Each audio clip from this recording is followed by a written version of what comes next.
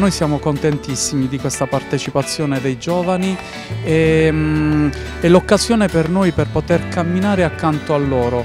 E non è una prova dei giovani, ma è una prova per noi, per poter essere giovani e continuare ad essere giovani e come dice il Papa, no? una Chiesa che cammina rimane giovane, quindi è nostro desiderio camminare accanto a questi ragazzi, anzi più che un desiderio è un onore oggi fare questo. Ci siamo? Ci siamo.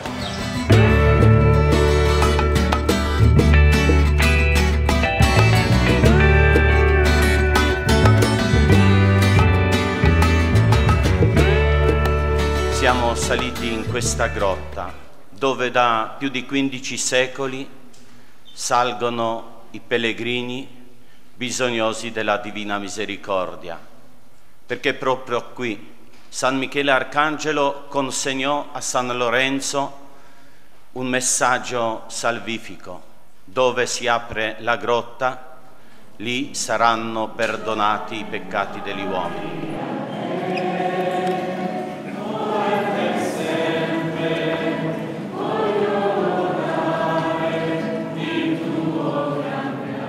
cammino che farete è un cammino penitenziale, cammino del perdono del Gargano. Durante il percorso verrà portata la spada, simbolo della presenza di San Michele che si pone al nostro fianco per difenderci, per proteggerci, per aiutarci ad amare sempre di più il Signore guardando la spada vediamo proprio questa parola che deve diventare spada per separare il bene dal male, per ecco, allontanare ogni tipo di insidia che ci potesse allontanare da Dio. Ma innanzitutto siamo davvero felici di essere riusciti anche quest'anno ad organizzare questo cammino, questo pellegrinaggio Ehm, che unisce due luoghi dello spirito, Monte Sant'Angelo e San Giovanni Rotondo. E, mm, mi pare che il tema sia anche un po' più forte perché si tratta di combattere il male con il bene. E solo mm, avendo questa grande capacità di combattere il male con il bene sicuramente avremo delle possibilità per vincerlo perché la nostra forza è Gesù Cristo, è la verità è il bene, il vero bene, il sommo bene, quindi non possiamo non vincere il male se stiamo con Lui. Voi partite adesso per un pellegrinaggio, da un santuario arriverete a un altro santuario. La cosa che è evidente è che voi avete una meta certa, quindi si parte per arrivare, c'è una strada da percorrere e noi andiamo a fare questa cosa, la facciamo perché siamo convinti di fare qualcosa di buono. Pensavo, pensando a questo, a questo, tragitto vostro, alla differenza che c'è sta tra un pellegrino e un, e un, vagabondo. In fondo sembrano uguali. Se voi li incontrate in una città, un pellegrino e un vagabondo, sono due persone che non, fuori casa, che stanno camminando, fuori, non hanno una casa, stanno, forse passeranno la notte eh, così all'addiaccio, insomma. Qual è la differenza? La differenza è che uno ha una meta da raggiungere e l'altro la meta non ce l'ha. E quindi perde tempo. Si parte, ci si sveglia la mattina senza sapere che cosa fare, si nasce e non sappiamo perché siamo nati, si va verso la morte e non sappiamo che cosa ci attende, facciamo finta di ingannarci, facciamo finta di perdere tempo. Fatto sta che tutte le volte che battezzo un bambino dico sempre la stessa cosa, dico sentite, io di questo bambino non faccio niente, può arrivare a 100 anni, potrebbe fermarsi molto prima, sarà la gioia dei genitori, sarà un santo, sarà un criminale, sarà un Totò Riina o un San Giuseppe Moscati, sarà un Adolf Hitler o sarà invece un Padre Pio da Pietrelcina, non sappiamo niente. Sarà lui ad accompagnare i genitori al Camposanto o saranno i genitori ad, ad accompagnare lui al Camposanto? L'unica cosa che sappiamo di questo bambino è che un giorno morirà. Ora tutto questo mi sembra una cosa da niente, invece non lo è, guardate perché c'è poco da fare, si cambia una volta solamente. Dice guarda, noi ti aspettiamo... No. E guardate, rischiare di non fare centro veramente sarebbe una pena proprio. Rischiare di non fare centro sarebbe veramente una pena. Questo è un lusso che non ci possiamo permettere. Allora io volendo andare sul sicuro, ho detto, ma che faccio? Vado a parlare là eh, con tutti questi ragazzi, questi giovani, insomma, non, no. E mi sono preso la lettera del Papa ai giovani, scusami, no? il Papa ci la lettera, devo, vado a rubare al Papa, poi sapete che da inventare non c'è niente, abbiamo un patrimonio di ricchezza, di santità, di magistero, di teologia, che non è che dobbiamo inventare niente. Sentite il Papa che cosa dice? Deve tre cose. Anzitutto voglio dire ad ognuno la prima verità. Ma il Papa ci dice una verità, vediamo che Dio ti ama. Mo, ma guarda un po'. E il Papa lo sa, sentite bene. Se l'hai già sentito, non importa, io te lo voglio ripetere, Dio ti ama. Perché può darsi che il fatto che noi l'abbiamo già sentito, non ci rendiamo conto di che cosa voglia significare che Dio mi ama. Dio ti ama, Dio mi ama. Non dubitarne mai. Qualunque cosa ti accada nella vita, non dubitare mai, mai, neanche quando sai nel peccato più nero. Dio ti ama. Per favore, se avete una penna, scrivetevela un po' a mano, come quando ne fai l'esame, vi ricordate? No, eh, Dio mi ama. Poi da qua fino a quando arriveremo a San Giovanni Rotondo ce lo leggiamo tante volte. Seconda verità, cioè sa, seconda verità qual è? La seconda verità è che Cristo per amore ha dato se stesso, avendo amato i suoi, li amò sino alla fine. Cristo è morto per me. Sentite, non lo dite più, non lo diciamo più Cristo è morto per noi, Cristo è morto, non lo diciamo, non lo diciamo. Il Papa arriverà a dire non esiste la gioventù, esiste tu, come ti chiami? Voglio tu che hai barba e con baffo, come ti chiami? Michelangelo, Michelangelo. Non esiste la gioventù, esiste Michelangelo, con sta barba, con questo baffo, con questo lento, con queste DNA, con quel papà, con quella mamma, con la tua storia, con la... è la nostra storia, capiti o no? Seconda verità, dice il Papa. Allora, prima Dio ti ama, seconda verità, Cristo è morto per te. Cioè, sempre la penna in mano, scriva sotto, secondo Cristo è morto per te. E poi te lo ripeterai da qua fino a quando arriverai a San Giovanni Rotondo. Cristo è morto per me, non per l'umanità, Michelà, eh? non per l'umanità, lascia stare l'umanità, stasera diventeremo egoisti tutti quanti. Cristo è morto per me, per me Maurizio Patricielli, per me, per te. Ma vi rendete conto di quello che significa? Provate a leggere in questa, in, questa, in questa, chiave, in questa luce, che cosa succede quando una nave sta da giorni e giorni in mezzo al mare là e si dice no, non dovete scendere. Provate a leggere in questa luce qua. Provate a leggere in questa luce qua. Non mi rendo conto, attenzione, forse, forse ha sbagliato perché questa è una cosa che non... Ma io non ho già sbagliato. Provate, provate a leggere in questa luce che significa. Quando Papa Francesco dice e tutto quello che gettiamo nel bidone dell'immondizia, prima l'abbiamo rubato ai poveri e poi l'abbiamo gettato nel bidone dell'immondizia. Terza verità. Quale sarà questa terza verità? Allora, Dio mi ama, Cristo è morto per me. Terza verità, sentite il Papa che dice. C'è però una terza verità che è inseparabile dalle precedenti. E qual è? Cristo vive. Ma guarda un po', sembrava che il Papa ci dovesse dire chissà qualcosa, dice delle cose che noi... Cristo vive. Ma voi pensate che sia una... Signor Sindaco, lei pensa che sia una verità scontata? Ma siamo mai andati a letto dicendo Cristo vive? Vive accanto a me, vive dentro di me. Io stamattina ho celebrato, ho fatto la comunione, stanotte sera dovremo celebrare ancora. Cristo vive. Non sono più io che vivo, ma Cristo che vive in me. Noi che abbiamo ricevuto il battesimo, la cresima, il sacramento dell'ordine, del matrimonio. No, Cristo, io sono diventato la casa dello Spirito Santo. La casa, la dimora. Cioè, Ce le vogliamo ripetere? Allora prendiamo sempre la penna in mezzo alla mano, mica la vai, scrivi la terza verità. Cristo vive, sentite bene. Occorre, dice il Papa, ricordarlo spesso, perché corriamo il rischio di prendere, di Gesù Cristo, so, di prendere Gesù Cristo solo come un buon esempio del passato. Forse questo errore, padre, ha fatto pure noi. No, dobbiamo l'imitazione di Cristo, dobbiamo imitare, cioè, se mancherebbe altro. Ma Cristo vive, non è un ricordo come qualcuno che ci ha salvato duemila anni fa. Questo, dice Francesco, non ci servirebbe a nulla. non ci servirebbe a nulla, ci lascerebbe uguali a prima, non ci libererebbe. Colui che ci colma della sua grazia, colui che ci libera, colui che ci trasforma, colui che ci guarisce, colui che ci conforta, è vivo, vive. Egli è la nostra speranza. Egli è la più bella giovinezza di questo mondo. Tutto ciò che lui tocca diventa giovane.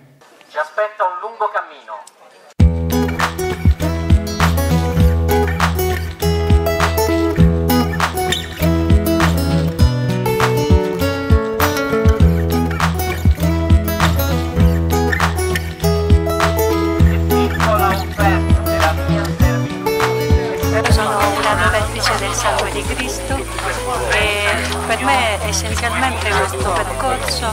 è un percorso verso l'interiorità, verso il centro del proprio essere e lo sto vivendo con la preghiera e come impegno eh, di pregare per tutte le persone che me lo hanno chiesto.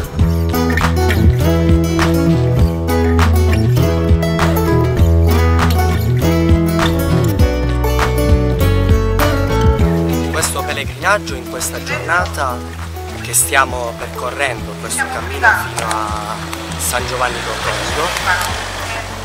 Spero che questo momento sia un momento veramente di preghiera, soprattutto per, per tutti noi giovani, noi adolescenti, un momento in cui riflettiamo cosa vuole il Signore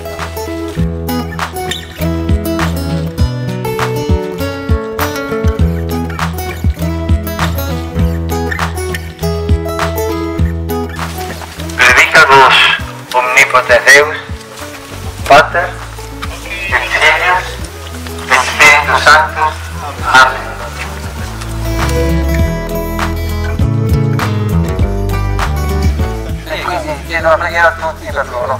Grazie. Bellissimo, grazie, senz'altro la facciamo, siamo contenti.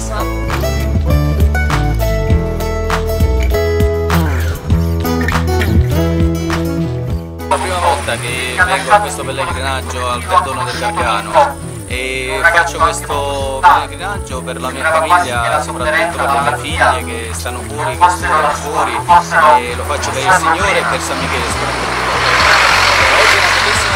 Giornata, quindi diciamo che il Signore ci accompagna, ci sarà ancora un altro bel po' di strada, però va bene così. E tutto questo finirà con un abbraccio.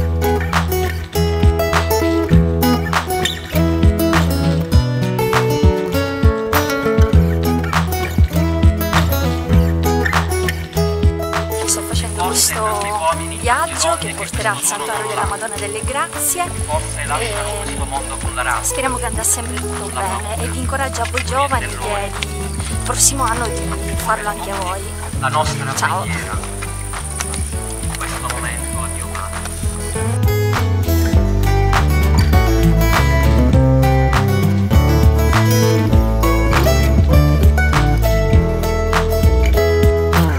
Le tre cose sulle quali rifletteremo lungo la strada. Dio mi ama, Cristo è morto per me, Cristo vive e vive in me. Facile non è perdonare, ma è l'unica cosa. L'amore non è una cosa che si può insegnare, ma è la cosa più importante da imparare. Al di fuori della misericordia di Dio non c'è nessun'altra fonte di speranza per gli esseri umani. Quindi oggi sta la misericordia. Guardate, siamo obbligati, siamo in un vicolo cieco, vi ricordate Riccardo di San Vittore? Signore, se ci siamo ingannati, vuol dire che ci hai ingannati tu. Per questa strada ci hai messo tu. Sei tu. E alla fine abbiamo tutto da guadagnare.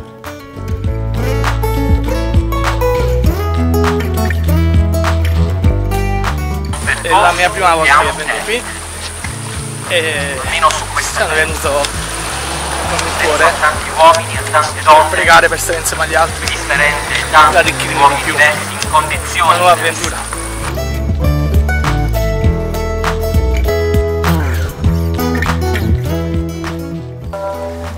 Per te che sono verdi gli alberi e rose fiocchi in maternità e per te che sono bruciati e per te tutta questa città e per te che sono bianchi 15 dicembre è per te la campanella scuola è per te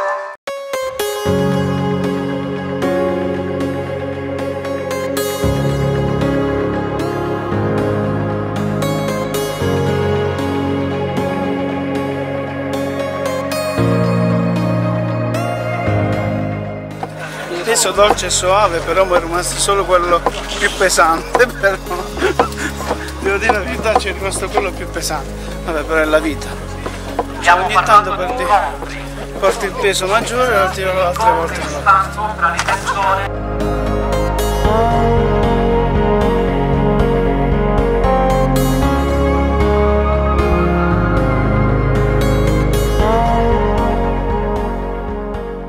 Per la prima volta in realtà è dedicato questo cammino a mio fratello che sta vivendo una battaglia difficile, domani inizierà un ciclo di terapia importante e quindi siamo qui a chiedere aiuto del Signore di San Michele Arcangelo affinché possa benedire il suo percorso.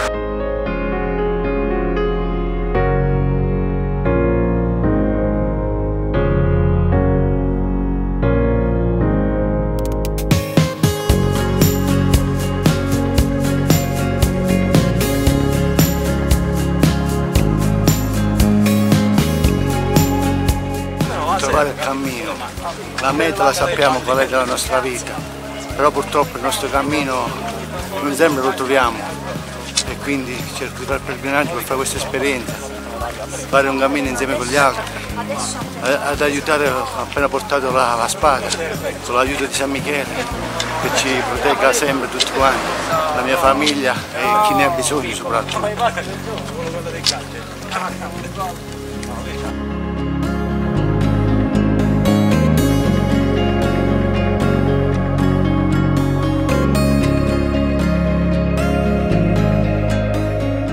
Sai, è come quando uno possiede una cosa bella, la vuole regalare alla persona amata. Quindi io questa bella esperienza eh, la regalo al Signore per i sacerdoti, per le, tutte le anime consacrate, per le vocazioni. E soprattutto prego per i giovani perché non smarriscano il senso della vita, quello vero, e perché possiamo rimanere umani, però umani che albergano il divino. Mi sento un pellegrino perché questa strada, soprattutto questa, la faccio diverse volte con il gruppo dei Santi Michelari, i Rovei Santi Michelari e la compagnia di San Marco e Damis. E essere legati a San Michele per noi, soprattutto di San Marco, è una cosa così naturale. Padre Pio ha, eh, ha segnato la storia eh, del nostro Gargano, dei, dei, dei, nostri comuni, di San Giovanni Rotondo, ma anche di San Marco e Damis. Quella vicinanza, eh, vivere anche all'ombra di Padre Pio, significato tantissimo anche per noi. E, e essere eh, in questo territorio e avere avuto la fortuna di poter vivere in questa terra santa, in questa terra eh, romea, una terra pellegrina, terra in movimento, un movimento che porta sempre poi a, a una riscoperta della fede, è, è, è, è importante. L'esperienza è un po' difficile spiegarla, bisogna chiederlo a San Michele se perdona i miei peccati.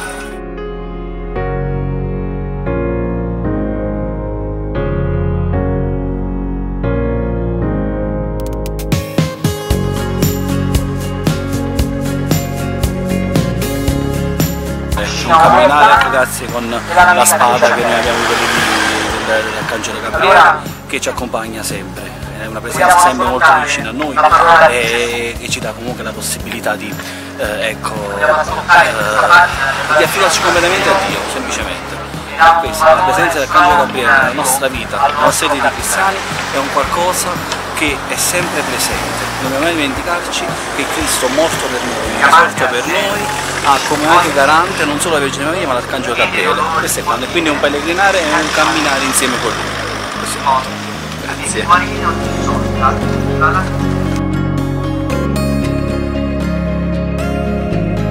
Una bellissima esperienza da ripetere sicuramente.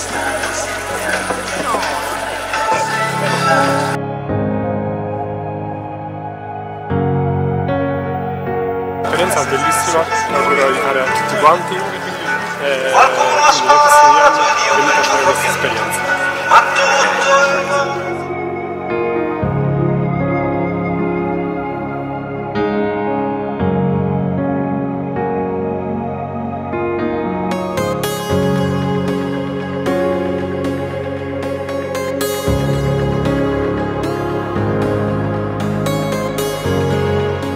quest'anno abbiamo approfittato di questa splendida esperienza offerta dai frati Cappuccini di San Giovanni Rotondo e sperimentiamo la preghiera che si fa a cammino che dal cuore arriva alle gambe e mette in modo tutto il corpo. Vi consiglio di farla se avete la possibilità l'anno prossimo.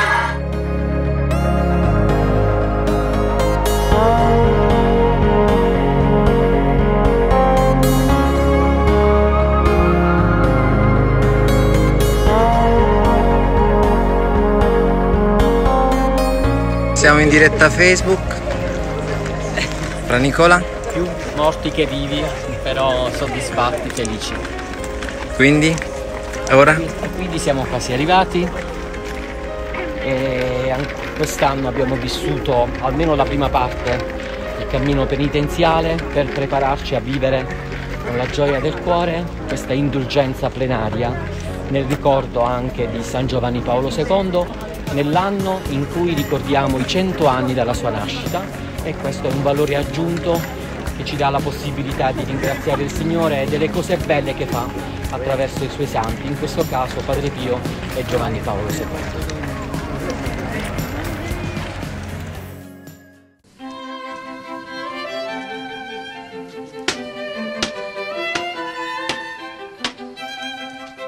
Sulla soglia di questa piccola chiesa vi accolgo e vi do il benvenuto, carissimi pellegrini. Siete partiti dall'antichissimo santuario di San Michele Arcangelo per giungere in questo luogo santo che custodisce l'antica e venerata icona della Madonna delle Grazie, insieme alla memoria della vita santa di Padre Pio da Pietrelcina.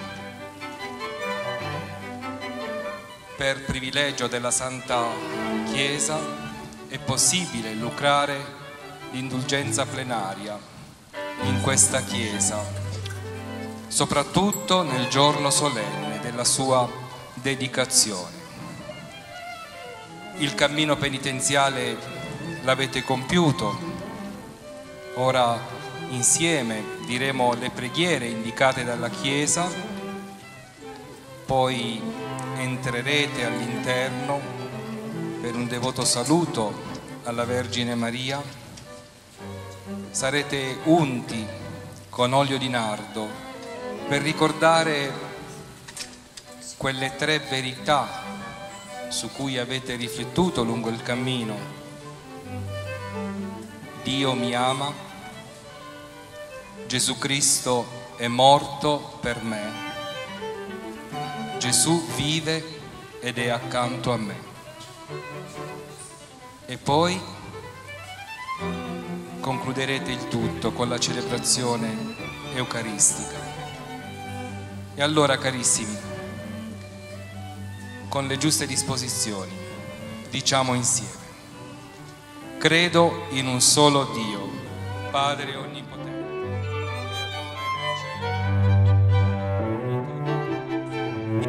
Música